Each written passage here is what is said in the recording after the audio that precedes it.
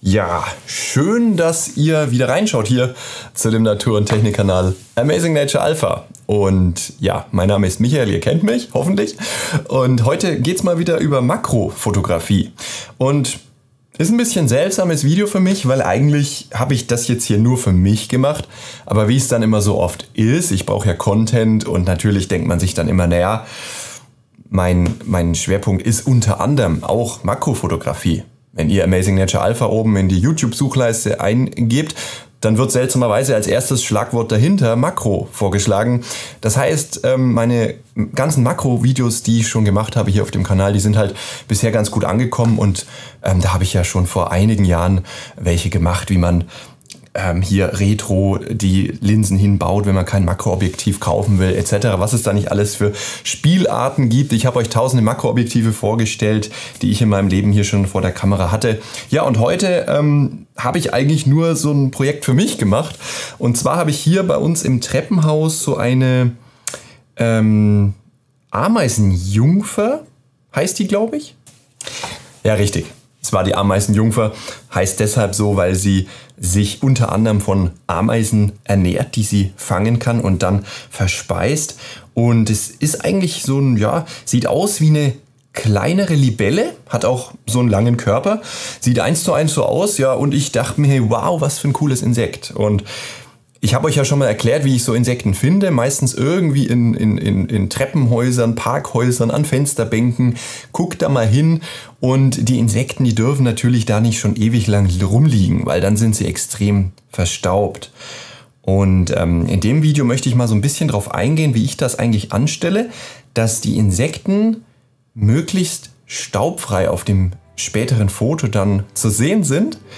Und ja, und ich zeige euch mal, was ich heute hier aufgebaut habe und warum und wie ich da vorgegangen bin und was ich für Fotos gemacht habe. All das seht ihr in diesem Video. Deshalb, los geht's.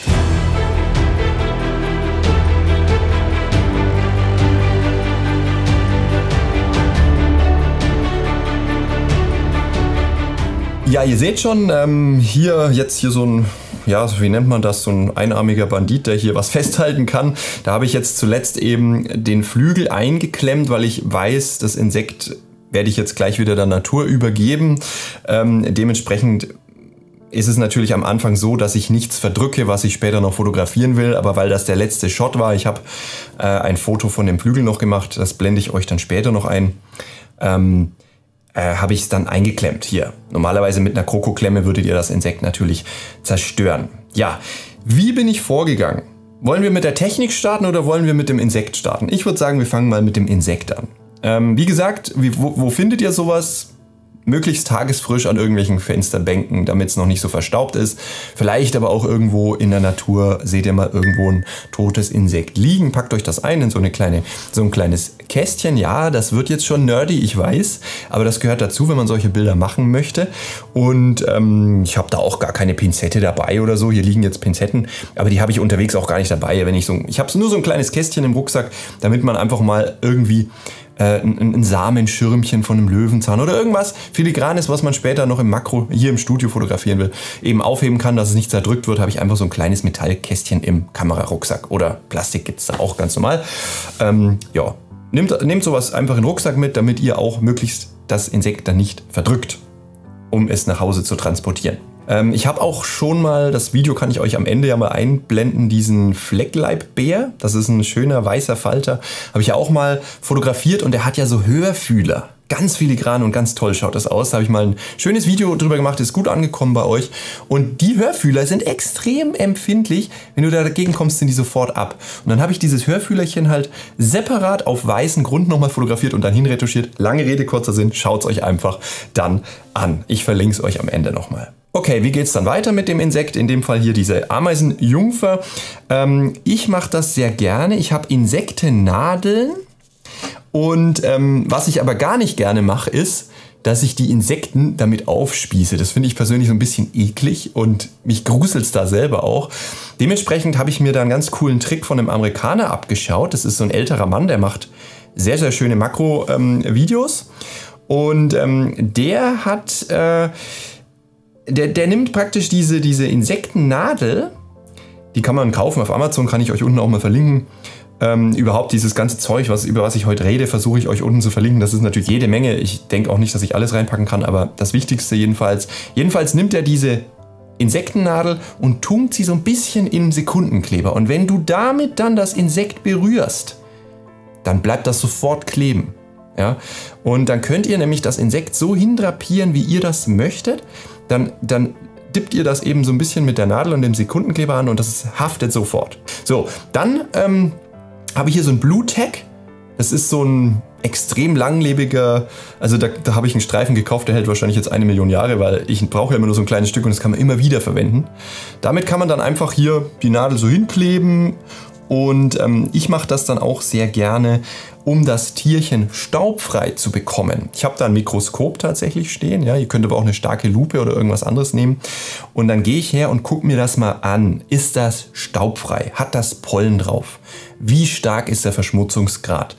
ist überhaupt das Facettenauge noch intakt? Weil das hat man ja auch oft, wenn die Insekten nicht gerade taufrisch sind, dann sind die Insekten, äh, die, die Facettenaugen schon so, haben so eingebrochene Fensterchen und so. Das schaut ein bisschen blöd aus.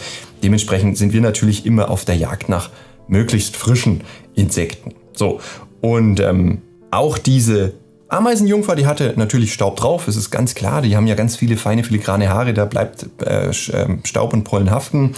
Ähm, dann setze ich das mit diesem Pin in ein Ultraschallbad. Ich habe da so ein kleines Ultraschallbad, wo man Uhren reinigt, Schmuck reinigt.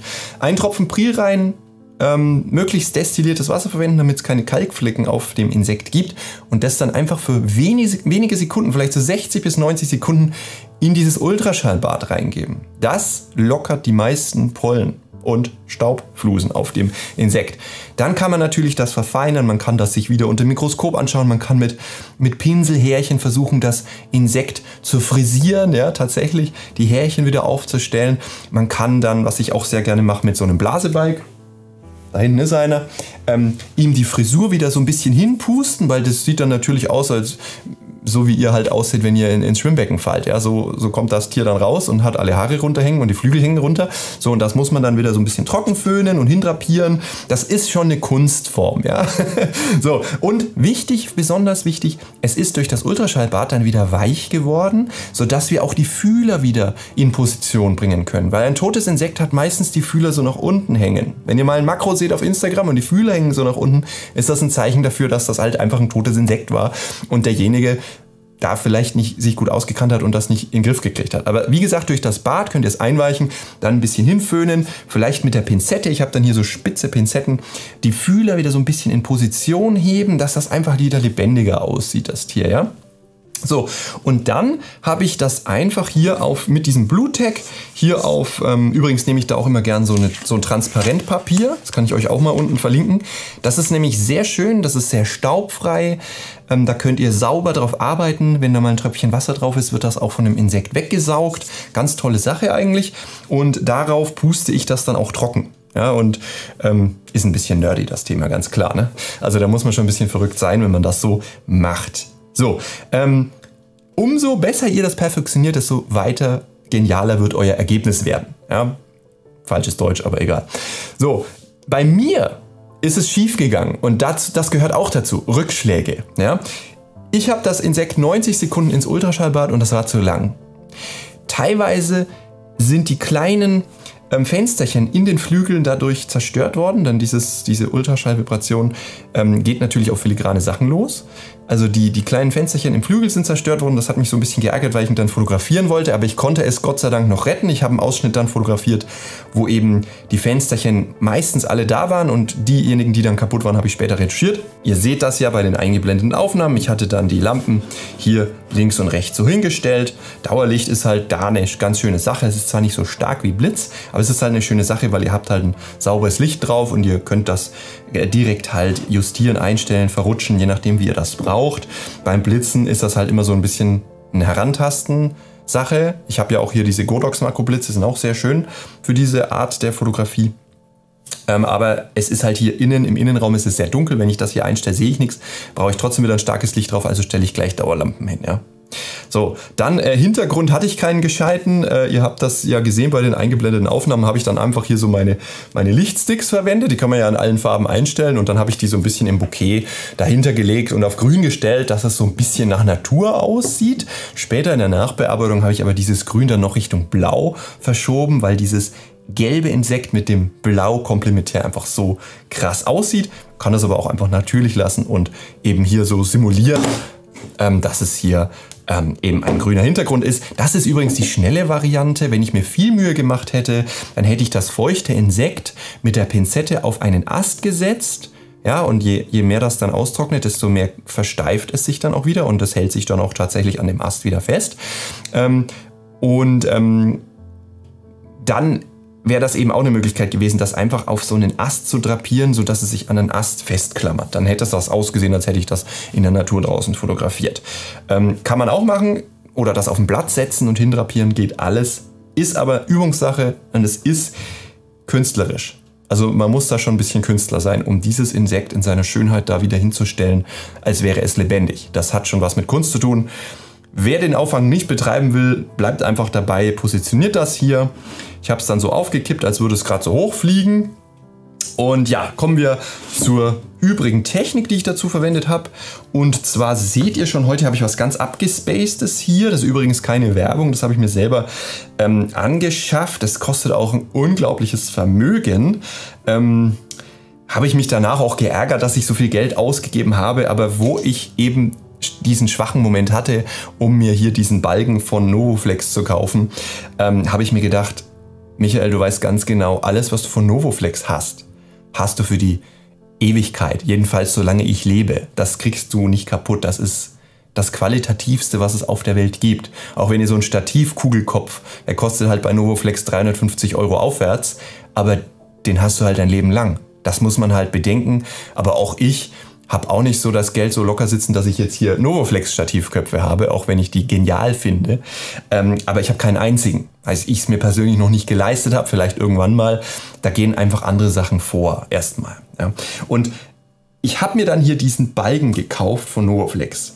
Und jetzt erkläre ich euch erstmal, was der macht. Also, in der Makrofotografie gibt es mehrere Möglichkeiten. Du kannst ein ganz normales Makroobjektiv nehmen und ein Foto machen. Dann hast du meistens den Maßstab 1 zu 1. Und ein Makroobjektiv von Sony, das kostet halt schnell mal 900 Euro.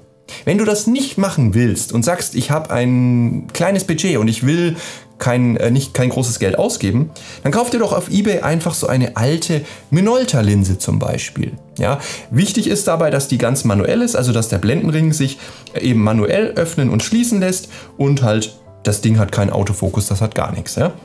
So, das ist der erste Punkt. Ihr kauft euch irgendein Minolta-Objektiv, zum Beispiel ein 50 mm f1.7 gibt es für 20 Euro auf Ebay, vielleicht für 30. Ja, die sind mittlerweile sehr im Trend wieder und beliebt geworden.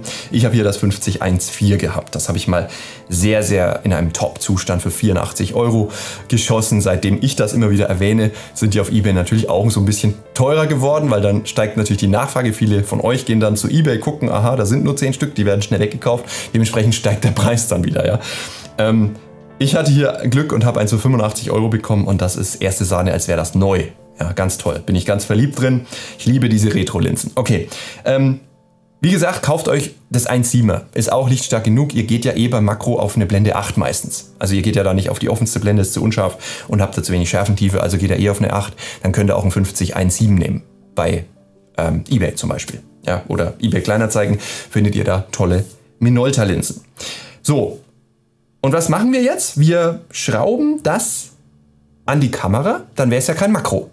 Aber es gibt einen Trick, wenn wir das auf Abstand zur Kamera bringen, ja, dann habt ihr eine stärkere Vergrößerung. Dann könnt ihr praktisch die Naheinstellgrenze des Objektivs nimmt ab und ihr könnt noch näher ran und plötzlich habt ihr ein Makroobjektiv, obwohl das Ding 20 Euro gekostet hat. Ja.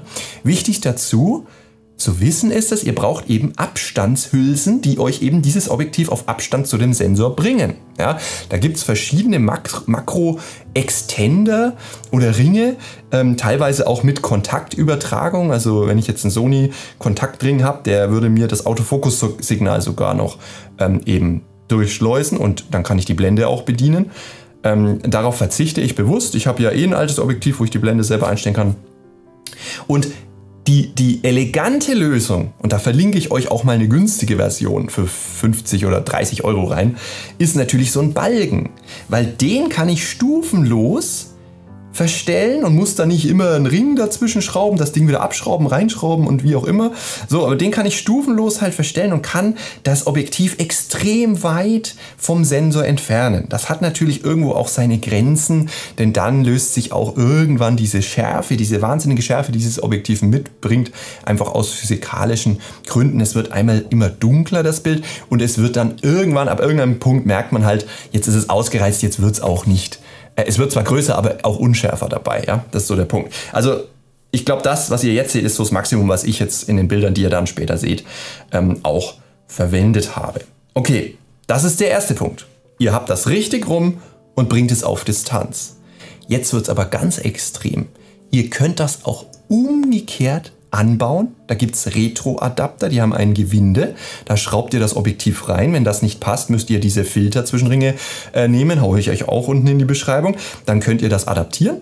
Und dann habt ihr das umgedreht dran. Und dann passiert folgendes. Ihr habt einen noch viel krasseren Vergrößerungsmaßstab. Je weitwinkliger das Objektiv ist, das ihr dazu verwendet, zum Beispiel, also hier habe ich einen 50 mm, noch krasser wird der Effekt. Wenn ich einen 24 mm kaufe, auch hier gern mal auf Ebay schauen, Tokina Minolta 24 mm, 28 mm, schlagt da mal zu, kauft euch da eins und dreht das umgekehrt, baut das umgekehrt an eure Kamera ran. Ist nicht so ganz easy, weil dann gibt es schon so Streulichtproblemchen. Gerade je weitwinkliger das ist, desto stärker treten die auf. Da merkt man schon, ja, da ist so ein bisschen Streulicht da. In dem Fall ist es gar nicht so schlecht. Ich zeige euch das mal, ich drehe es mal rein. Denn hier wird das Streulicht so ein bisschen durch den Novoflex Adapter abgeschattet, den ich da einfach dran lasse. Den, den brauche ich nämlich, um das umgekehrt hier anzubauen.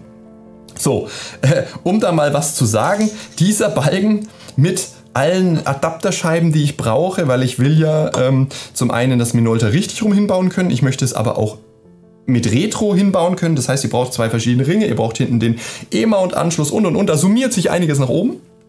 Und dann habt ihr zwar ein hochpräzises Teil, was ihr euer Leben lang haben werdet, aber das hat halt auch einfach 650 Euro gekostet. Und die schmerzen mich jetzt noch. Ja, ganz ehrlich. Ähm, wenn ihr diesen Schnickschnack gar nicht wollt mit diesen tausenden Ringen und, und, und äh, dann brauchst du noch den Ring und den Ring und den Ring und euch ist das alles zu blöd, euch das zusammenzusuchen, dann verlinke ich euch natürlich das Mercedes Luxusmodell noch unten rein von Novoflex. Und zwar ist das ein Canon oder Sony E-Mount ähm, Balken, der das Signal durchschleust. Das heißt, ihr habt einen E-Mount hier, ihr habt einen E-Mount vorne und ihr habt ein Kabel, was praktisch ähm, den Kontakt aufs Objektiv sicherstellt. Ihr könnt die Blende verstellen, ihr könnt ähm, fokussieren und ihr könnt das Objektiv auf Abstand bringen. Das heißt, ihr könnt irgendwie ein Sony-Objektiv nehmen. Zum Beispiel ein 24er oder ein 50er, weil ihr könnt die Blende ja ansteuern. Ansonsten würde die immer ganz zugehen, wenn sie nicht unter Strom ist. Ja? So, jetzt wird es aber noch abgespaceter. Ihr könnt dann diesen Autofokusring, der das Signal per Kabel überträgt, abmachen von, von dem Balken und könnt das Objektiv in Retro-Stellung anbringen und mach, flanscht den von der Seite, wo die Kontakte sind, einfach wieder dran und dann habt ihr auch wieder die volle Bedienbarkeit. Das heißt, ihr könnt mit diesem Balken, der kostet 850 Euro, da könnt ihr alles mitmachen. Und ich wollte halt noch ein bisschen Geld sparen habe mir den für 650 gekauft. Ja, aber da müsst ihr dann natürlich rummachen, welchen Adapter brauche ich hier, welchen brauche ich da, welche Ringe brauche ich und so weiter. Ist gar nicht so easy auf der Novos Flex Seite, finde ich. Das ist ein bisschen kompliziert. Also, wie gesagt, ich packe euch den unten auch mal rein. Das ist die Mercedes-Lösung. Wenn ihr eine E-Mount-Kamera habt, schließt ihr den einfach an und könnt vorne ein E-Mount-Objektiv verwenden. Und zwar in der Stellung und in der. Perfekter geht's nicht. Kostet aber 850 Euro. Nur so viel dazu. Okay, dann geht es natürlich los. Ich muss das Bild stacken. Wir haben bei diesem Vergrößerungsmaßstab, der jenseits von einem 1 zu 1 Makro liegt, ähm, eine geringe Schärfentiefe. Wenn ich vor allem so ein riesen, riesen Insekt habe wie das, was ihr jetzt hier seht, das ist ja 4 cm lang, ähm, das habe ich auch nicht komplett durchgesteckt, ja, das war mir dann auch too much. Ähm, ich habe jetzt so in, im Schnitt 45 Bilder gemacht. Also ich mache ein Bild und dann verschiebe ich die Kamera mit dem Makroschlitten, der hier drunter ist. Der ist von Nisi, den habe ich euch auch, glaube ich, schon mal vorgestellt. Ähm, so, der hat eine Kurbel dran, da kann man die, die, die Kamera ganz präzise immer ein Stück weiterfahren. Ja? Dann mache ich immer so eine halbe Umdrehung, drücke wieder durch. Noch toller ist es natürlich, ich habe einen Fernauslöser in der Hand, das habe ich mir alles gar nicht gegönnt. Ich habe auch kein super stabiles Stativ da drunter stehen, das ist das Ting Ting Wing. Ja, also ich habe jetzt hier wirklich nur, weil wir halt eben nur in, in einem Bereich bis 5 zu 1 Makro gegangen sind heute, also ich, jedenfalls hier war ja mein Projekt hier irgendwie, ja, da bin ich nicht weiter als 5 zu 1 gegangen. Wenn ich jetzt noch einen 24er dran geschraubt hätte, dann wären wir schon jenseits von 5 zu 1 gelandet, irgendwo so bei 8 oder 10 zu 1. Das ist schon extrem groß, da habt ihr dann schon das Facettenauge formatfüllend langsam auf dem Bild drauf. Und dann reicht natürlich eine halbe Umdrehung mit dem Nisi-Schlitten nicht mehr. Da müsst ihr vielleicht nur noch so ein bisschen, also 5 Minuten immer weiter drehen, ne? dass, dass ihr da nicht zu große Schritte macht. Und so mache ich das. Ich mache dann ein Foto und da braucht ihr natürlich möglichst dann einen Fernauslöser, stabileres Stativ, wenn ihr wirklich hergeht und in solchen Vergrößerungsmaßstäben arbeitet. Aber für diesen Setup-Aufbau und 5 zu 1 ist wirklich schon riesig, ähm, hat das hier wunderbar funktioniert. Okay, Soweit zur Technik. Ich habe dann auch noch mal ein Foto gemacht mit dem Laowa ähm, Macro Probe. Äh, sorry, nicht Macro Probe, das ist das normale ähm, 5 zu 1 Makro, das 25er Weitwinkel. Das kann man ja verstellen von 2,5 zu 1 zu 5 zu 1. Und 5 zu 1 ist dann auch gar nicht mal mehr so scharf. Und ja, ich würde sagen, ich starte einfach mal, indem ich euch mal ein paar Ergebnisse einblende.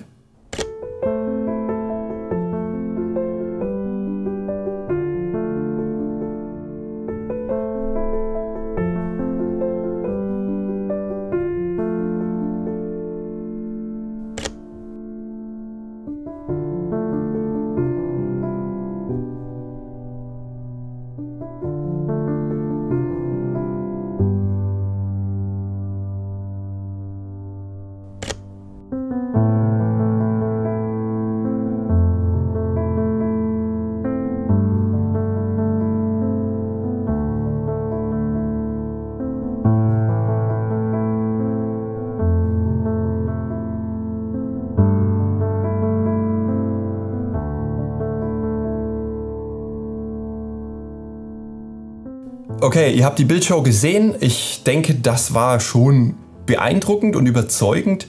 Ähm, wie stecke ich diese Bilder zusammen? Das mache ich mit Photoshop zum Teil. Also wenn ihr Lightroom und Photoshop habt, dann könnt ihr das mit Photoshop stacken. Ähm, ich würde aber sagen, Photoshop ist gut bis zu 25 Bilder. Und dann kommt es auch immer darauf an, wie weit habt ihr durchgesteckt, wie viel Millimeter hat das ausmachen müssen. Photoshop ist da nicht so das Programm der ersten Wahl, aber ihr habt, wenn ich euch das Bild jetzt nochmal einblende, dieses Bild ist mit Photoshop entstanden und das ist für mich wirklich ganz gut geworden. Und das waren übrigens 43 Stacking-Bilder. Also auch jenseits von 25 Bildern kann das gut funktionieren, wenn ihr sauber hier mit einem Schlitten arbeitet und das von vorne nach hinten durchfahrt. Also Photoshop ist die erste Wahl, weil das haben viele von euch sowieso.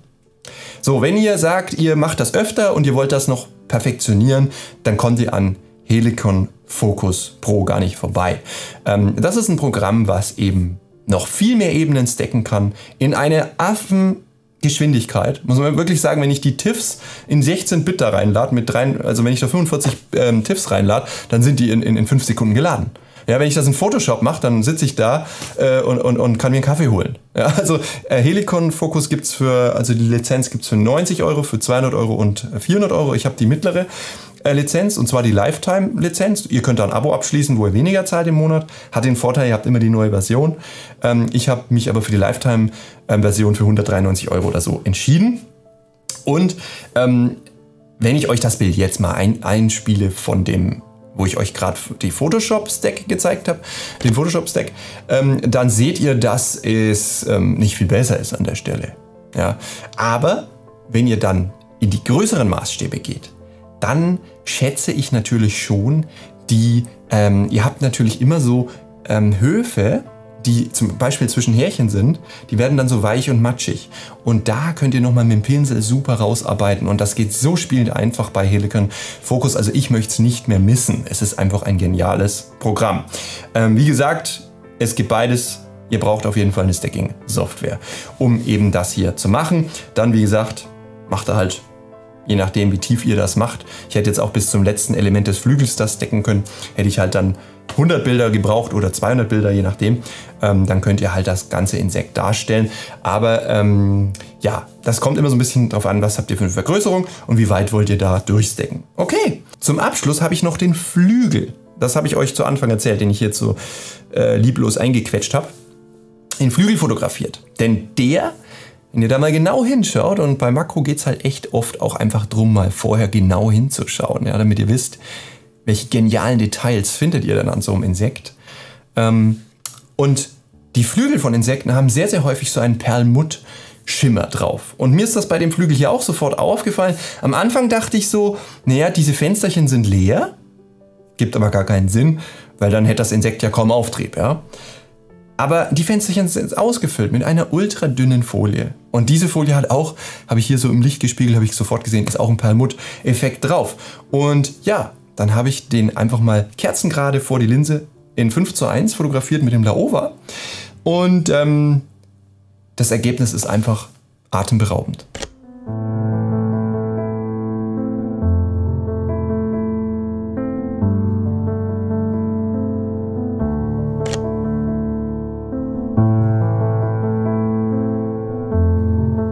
Das sind 13 Bilder. Ich habe zwei Fotos gemacht. Wie gesagt, ich hatte so ein bisschen zu kämpfen wegen den Kästchen, die manchmal durch das Ultraschallbad hier zerstört waren. Und es haben 13 Bilder, waren nötig. Also ich konnte nicht nur zwei machen oder drei, weil, weil durch das Einklemmen der Flügel sich ein bisschen verbogen hat. Ja, also er ist ja, äh, die, das Insekt kann den Flügel ja ganz schmal zusammenlegen. Also er ist ja faltbar in seiner Konstruktion. Ja, überhaupt, wenn ihr euch das mal anschaut, das ist übrigens auch einer der Gründe, warum ich Christ bin, ja, weil ich nicht glaube, dass so etwas von selber entstehen kann. Das ist für mich völlig ausgeschlossen, ja. Will ich natürlich auch niemanden äh, irgendwie angreifen, da kann jeder seine eigene Ansicht haben.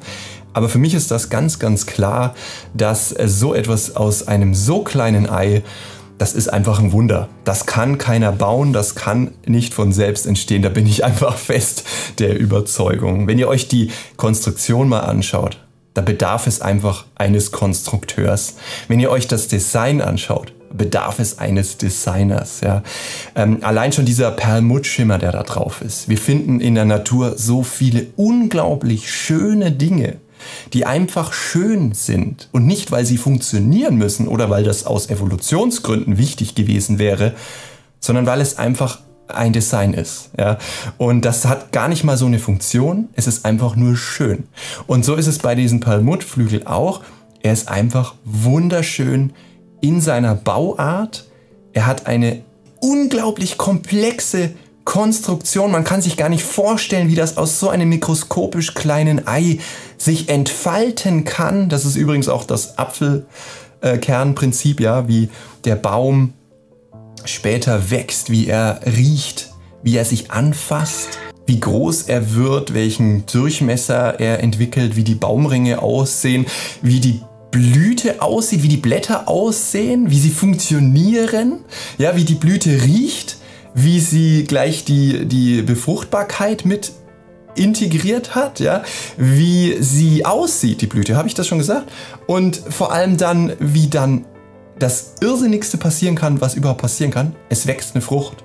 Die Frucht hat eine Schale, die hat ein Design, die schaut wunderschön aus, die hat ein Gehäuse, die hat Vitamine. All das ist im Genpool dieses kleinen Apfelkerns drin. Ähnlich hier bei dem Insekt, ein Mini-Ei und es entfaltet sich so eine unglaubliche Konstruktion, die in ihrer Funktionalität nicht übertroffen werden kann, die einfach sich da entfaltet und funktioniert. Ja? Und ähm, ganz zu schweigen von dem Gelenk an diesem Insekt oder an diesem Flügel, was diesen Flügel mit so und so viel tausend Schwingungen pro Sekunde eben bewegen muss. Ja? Und ähm, all das, wie gesagt, ist meine feste Meinung, kann nicht von selber entstehen. Deswegen bin ich so froh auch immer, wenn ich solche Details mir anschauen kann, wenn ich die Möglichkeit habe, das darzustellen. Und ja, und dann auch noch diese Schönheit dahinter sehe. Da bin ich immer wieder total von den Socken. Okay, zurück zum Thema. Ich denke, ich habe euch jetzt alles gesagt, was, ich, was es dazu irgendwie zu sagen gibt. Ihr habt gesehen, was ich heute gemacht habe. Wie gesagt, ich wollte eigentlich gar kein Video machen und dachte mir jetzt halt am Ende doch, hm, jetzt hast du das Zeug schon hier stehen, jetzt gibst du diesen Mehrwert auch weiter an andere, die vielleicht das nachmachen wollen, die vielleicht sich interessieren in der Richtung Makro. Da gibt es noch ganz viele andere Spielarten. Wir können natürlich den Vergrößerungsmaßstab jetzt noch aufblasen, ähm, bis ins Unendliche. Und ähm, das können wir beim nächsten Mal äh, problemlos gerne machen zusammen. Vielen Dank, dass ihr bis jetzt dran geblieben seid. Ich wünsche euch eine schöne Zeit und bis zum nächsten Mal. Tschüss.